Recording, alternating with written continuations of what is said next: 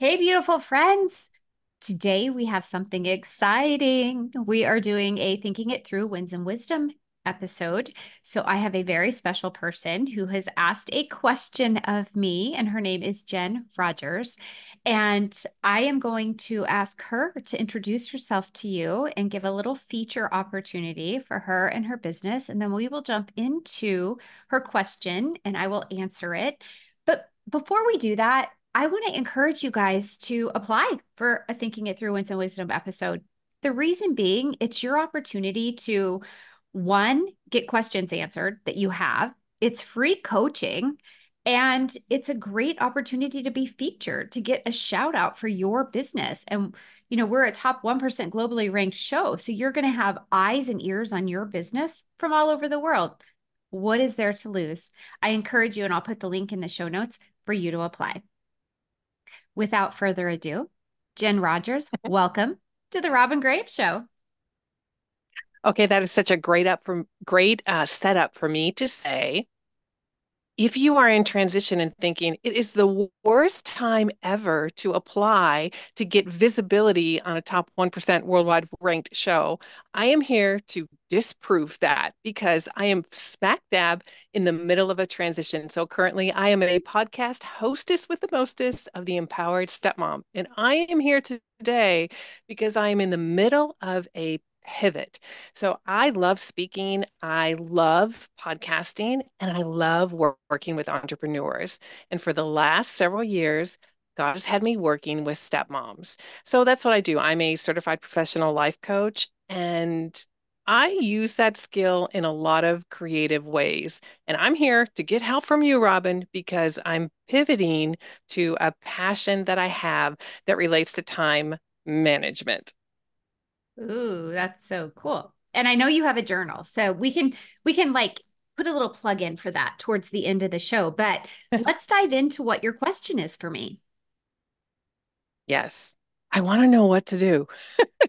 I have a top 1.5% ranked podcast, and I'm wondering if I piggyback on top of that one or if I start a whole brand new podcast because my audience is Christian stepmoms currently, and I'm moving to Christian women entrepreneurs. So I want to help them with time management because as a rising star, entrepreneurs, they kind of don't know where to shine their light and they get confused and distracted by all the things. So that's what I want to help with. And it seems I want to honor the women I'm currently serving and it would seem disingenuous to me to say, hey, all of a sudden, boom, now we're going to talk about time management for entrepreneurs because they're two distinct groups of women. So that's why I'm here to get your help. I love it. So, first, I want to ask you do you have any idea in your current audience how many of those step moms are entrepreneurs? I don't have an exact number, but I would tell you a significant number are, particularly in my Facebook group. There are a couple of hundred women in there, and there's probably at least at least 75 that I know of that are entrepreneurs.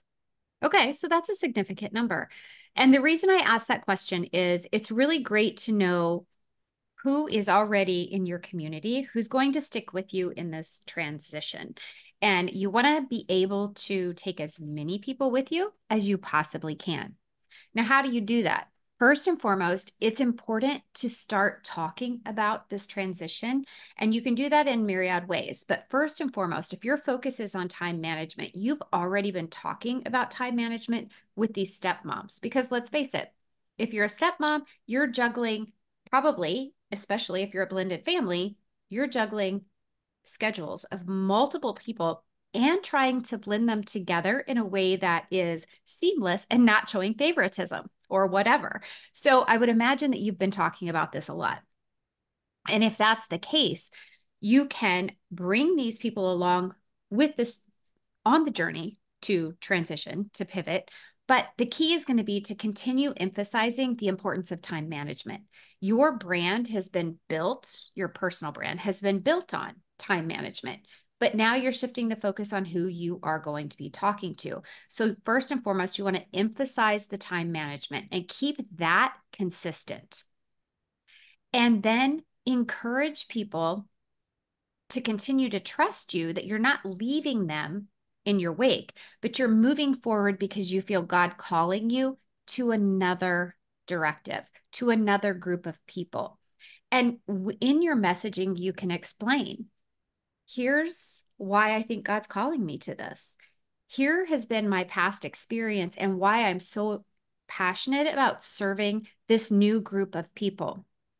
And invite those that fit into that avatar, which I like to, I don't even like to use the word avatar because we're humans, but those humans, bring those humans that fit into that description of women entrepreneurs along with you, and they will become your support system.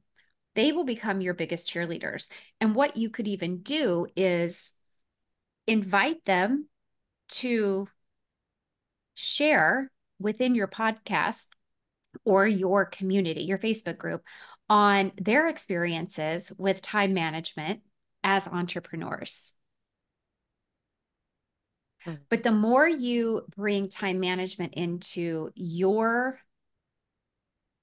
messaging, your conversations, your um, you know any type of content that you're creating you're going to be able to continue that emphasis and make sure that that's consistent with all of your branding and everything that's going forward. Does that make mm-hmm. sense? It does make sense. So what i'm thinking of is i'm thinking two things. One the podcast shift would be time to simplify mm. and really time management success habits for busy christian women entrepreneurs mm-hmm. So there's that piece of it. And then the other piece is the thing that I talk about that time management is a part of is really your vision, creating your vision that you have to know the direction that you're going in order to be able to understand how you're going to plan your day. So as I'm thinking about and reflecting on what you're saying or focused messaging and what I've already been talking about, I would say the biggest word that would come up would be vision even more so than time management. So i i can make a some sort of connection there to say that listen we talk about vision a lot on this show and vision is great but if all you do is talk about your vision it's not going anywhere mm-hmm. fast. You've got to take action and how do you know what is the right action to take? And that's where time management comes in. So i'm thinking through some talking points mm-hmm. here uh, of how to do it because you and I, we've talked offline a little bit. I've got 130 plus reviews. I've got 221 episodes right now. And to start over from ground zero, part of me, I, I, like a challenge. So I'm up for it. I'm like, I can do it again. I can go and do it again. But it took three and a half years to do 221 episodes. Do I really want to wait three and a half years to grow that credibility to say, I've been showing up week after week after week. I think I get caught up on the reviews that talk a lot about co-parenting and uh, I actually get a lot of reviews that say, I'm not a stepmom, but. and, and I remember I did a show one time saying, I think I want to change the name of the show to I'm not a stepmom, but mm-hmm. because they're really life lessons for women who love the Lord and, and who want to figure out how we get it all together. So um, I'm I'm still vacillating, like, what do I do with that so I can talk about this is the direction I'm going. But there, I mean, the ultimate question is do I kill one thing and start over from ground zero? So I will give you my thoughts on that. And you can tell me how you feel after you hear what my perspective is. And having done this, I was two years into my show when I changed the name of it. And I changed the name from the Second Phase podcast to the Robyn Graham Show because I didn't only want to highlight people that were in their second phase. Now, most of my guests are in their second phase. They were in corporate, they transitioned. Even if they were entrepreneurs, chances are they've transitioned into something new. So we're all in that second phase, third phase, fourth phase of our lives, of our businesses. However, I wanted to be able to emphasize other things too. And as I was writing my book and publishing my book, around mental health challenges, that was important for me to be able to have episodes that were not related to the second phase. Now, when I transitioned, I kept everything as is. And I did that because I didn't want to lose the content because so much of that content was still applicable to the new show name and it was still in line with my messaging. So if your past episodes are still in line with what you're going to be talking about, there's no reason to get rid of the platform you've already built. As you just said, like it would be a challenge to rebuild that. I'm all about simplification. And when you think about time management and vision, if your mm-hmm. vision is to continue to grow and not lose that status of 1.5, the top 1.5%, it would be wise to build off of the platform you have already built. Mm-hmm. If you do it the other way, yeah, absolutely, you can do it, but it is going to take time. Now, you already have a built in audience, which is important because that built in audience that's going to go forward with you because they know you, love you, and trust you, they're going to help spread the word for you. But it's still going to mm. take a lot of time to rebuild the volume of reviews and ratings and just the rank status that you have built for your show. Yeah, I mean, it certainly took a lot of time and a lot of hard knocks. Mm-hmm. For sure. I kind of like the idea of bringing the audience in to say, hey, what do you think? So, this is what I'm wrestling with right now. What do you think about that? And even when I send out an email, I can say, hey, I'd really love to hear from you. Send them to a quick survey and mm-hmm. see what their thoughts are on it. I can even show up in my Facebook group and just have an authentic conversation because, again, there's a lot of similar things between being it's not like being a stepmom is you're an alien you're not you're a woman mm-hmm. and you just are dealing with a different family challenge than other women are dealing with but mm-hmm. still and deal in, with vision and all of that in your marketing materials and like even on the graphic you can say formerly known as and so people mm. can readily recognize what your show is. I did that for quite a while and then I transitioned the description of the show and I transitioned the graphic.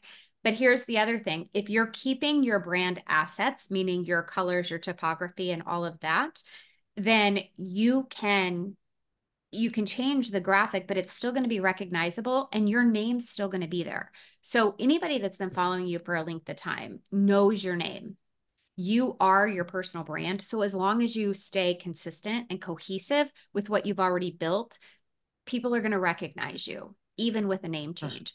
But that's the beautiful thing is that when you're building this out and you're titling your show, you can make sure that you, from an SEO perspective, use those keywords and key phrases. But because you've already built on that former key phrase of stepmom, you can have that as formerly known as. And I think that's going to help you transition and pivot without losing or dropping off a lot of the people just because of the yeah. brand you've built as who you are. Yeah.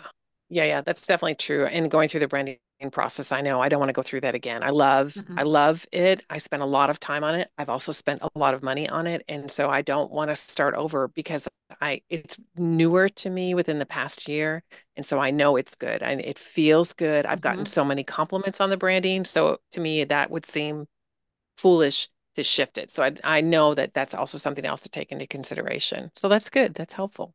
That's good. Good. Good, good, good. All right. So tell the listeners where they can connect with you and learn more from you because I know you're in transition. So, but there are certain things about you that will not change, like your email list or, you know, where you are on the online platforms. So, yeah. tell them how they can find you and then they yeah. can observe your just your transition, but see what you ultimately decide to do with your show. Yeah, I ought to say, come on, if you want to be part of this uh, painful growth shift, yes, come and find me. So I have decided, very much in line with what you teach, that social is not where I want to live my life. So I am moving solely to LinkedIn. So you can find me on LinkedIn at the Jen Rogers. And I'll emphasize that again the Jen Rogers, like the Ohio State, because there are a lot of Jen Rogers in the world. So, the Jen Rogers on LinkedIn. And uh, because I know probably half your audience is in a step family, I'm sure they can find some useful information on the podcast and my website. Just go to stepfamilypodcast.com and you will find all you need to know about what's going on cur- currently and what's about to happen next. Oh, you know what? Now that you just said that about the URL, here's another tip for you. make sure that yeah. you redirect the old URL to the new URL. And that way, anybody that goes to that, that's not a dead link. It goes to, it's redirected to the new show so that people yep. who have that link, because inevitably, if you've been on other podcasts previously, if you got social media content out there, anything that has been directed to that old URL, if that is attached to your current website, you want to make sure that you redirect that to your new site. That's the last tip I'm Got it. Got it. Well, thanks so much. You've given me a lot to think about, Robyn, and I really do appreciate it. Thanks so much for taking the time. Absolutely, Jen. Thanks for being here. And listeners, like I said at the beginning, be sure and apply for a Thinking It Through Wins and Wisdom episode because I think you'll love having the conversation and you get free insight. Nothing better than that. All right, have a great day, and I'll see you all here next time.